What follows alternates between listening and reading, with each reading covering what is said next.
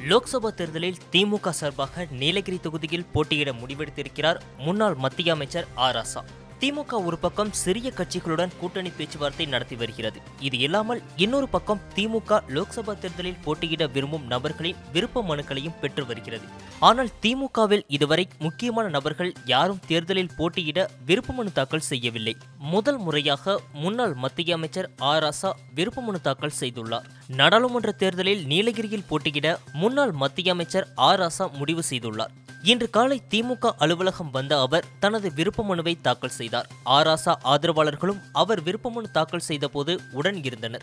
நீலகிரி தொகுதி தனி தொகுதியாகும். இது பட்டியலின வேட்பாளர்களுக்கான தொகுதி. அதனால் இந்த தொகுதி அதிக முக்கியத்துவம் பெறுகிறது. திமுக இங்கு போட்டியிடும் என்பதால் இதனால் உறுதியாகி உள்ளது.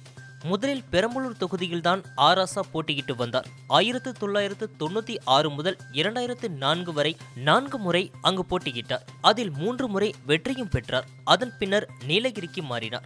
இரண்டாயிரத்து ஒன்பதில் நீலகிரியில் போட்டியிட்டு வென்றார். அதன் பின்னர்தான் மத்திய தொலைத்தொடர்புத்துறை அமைச்சரானார் ஆராசா இரண்டாயிரத்து பதினான்கில் இதே தொகுதியில் போட்டியிட்டு அதிமுக வேட்பாளர் எஸ். கோபாலகிருஷ்ணனிடம் தோல்வியை சந்தித்தார். தற்போது மீண்டும் அதே தொகுதியில் இவர் போட்டியிட முடிவெடுத்து இருக்கிறார்.